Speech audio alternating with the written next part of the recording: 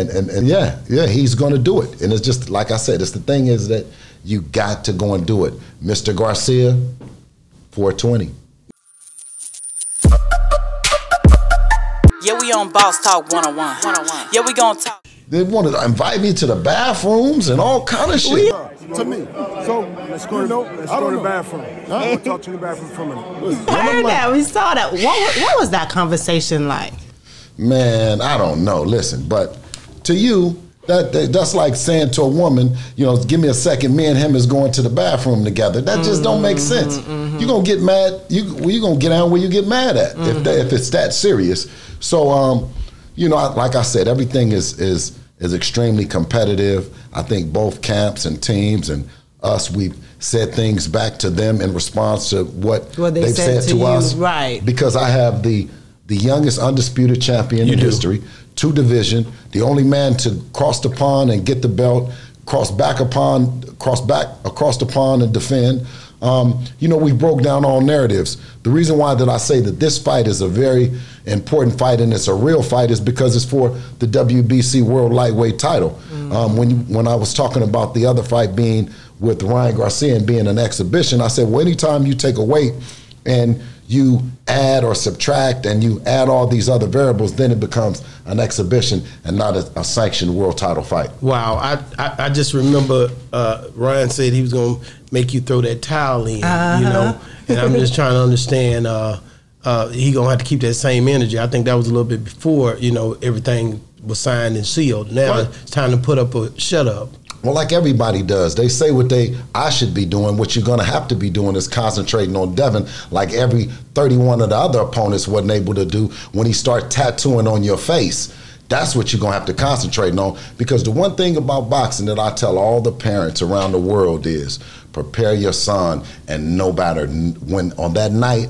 It's them against their opponent, not mm-hmm. against the promoter, the broadcaster, the fans. Nothing will save them. Keep putting in that work. Wow. I so thought that the um, Tank fight would have came before the Garcia fight because I remember the last time when he fight Lomachenko. Yeah. No, Tank never wanted to fight. No, no, no, No, no, no, about- when talking about Devin- No, I'm just kidding. He didn't want to fight him. huh? no, he didn't want to fight him. Wow. Tank ain't want to fight nobody, Queen, and you know that. And then listen, Then why did he jump up in the in, in the ring? No, that was No. Shakur. That was, Shakur Stevenson. That okay, was that was Tank's, Sorry. that was one of Tank's uh, bodyguards, one of his minions. Yeah, yeah. that was name was Shakur. yeah, because he was blocking, and they all block. They get together and they block at different times Right. and say different things. Yeah. you know what I mean? Because I'm like, a he didn't say it to his face. He ju- he waited till he left the ring to say it. Yeah, it's like a Bruce Lee karate flick with mm. Dev at the bottom and him having to work through all these narratives to get to the top. You know what I mean? And it's one after another after another. Yeah. You know what I mean? And that's the crazy part because Devin is young and he's getting stronger and stronger.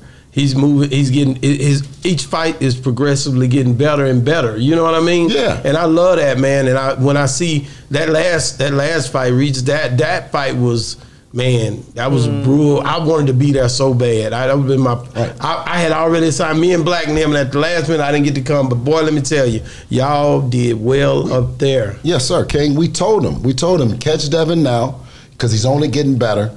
And I'm only getting more handsome and smiling more and smiling more and being more happy about representing the best fighter in boxing. Wow. Most skilled fighter in boxing. The boxer, the fighter that's giving you the fights uh, when you want them.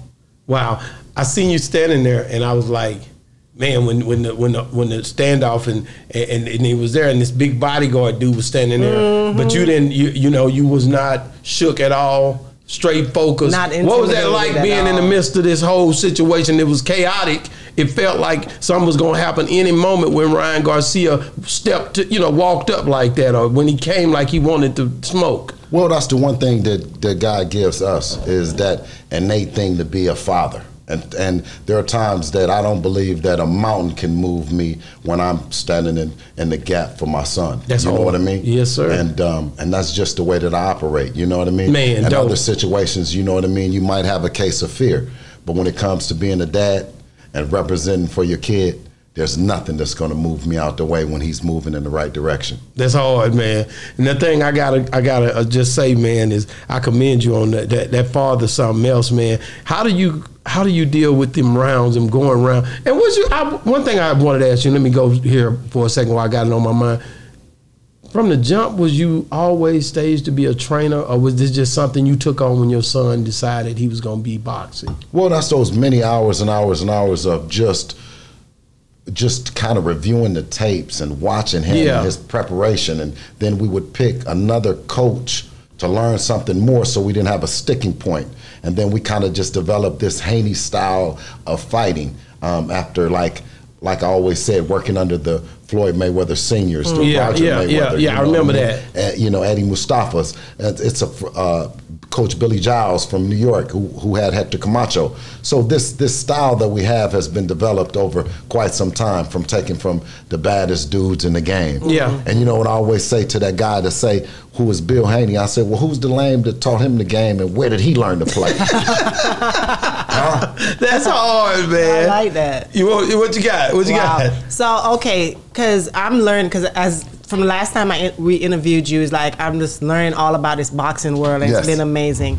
But um, stepping up in ranks, because you have to step up in ranks and step up in weight class to be able to fight other fighters. Uh-huh. What is um, his ultimate goal? Like, what weight classes do you Uh, want well, to did he finish that? to? Well, right, right now, Queen, when you're when you're smack dab in it, you can only look at that next fight. That next fight with Ryan Garcia means so much to both Devin, his brand, the legacy of, of him as a fighter, and Mm-hmm. you can't overlook him. Ryan is coming in hungry and determined at Mm-hmm. 140 with a vicious left hook. Queen, you ain't seen his left hook? Ooh. But if you're expecting that and you know that he has a vicious left hook, there are defenses that you practice to know to stay away from it. Am I correct? Absolutely, but uh, heavy is the head that wears the crown. It's easy to go and say you're going to do it, but you got to do it under the lights. And we've seen so many times that the fighters that are supposed to do things were up. The apple cart got upset by guys that came determined. Um, so you know, it's uh, it's nothing to take lightly. You know, I hope that everyone comes out at 420 yeah. and watch and sees that. You know what I mean? Yeah, and, and, and yeah, yeah, he's going to do it. And it's just like I said, it's the thing is that you got to go and do it. Mr. Garcia, 420. Yeah, we on Boss Talk 101. 101. Yeah, we gon' talk.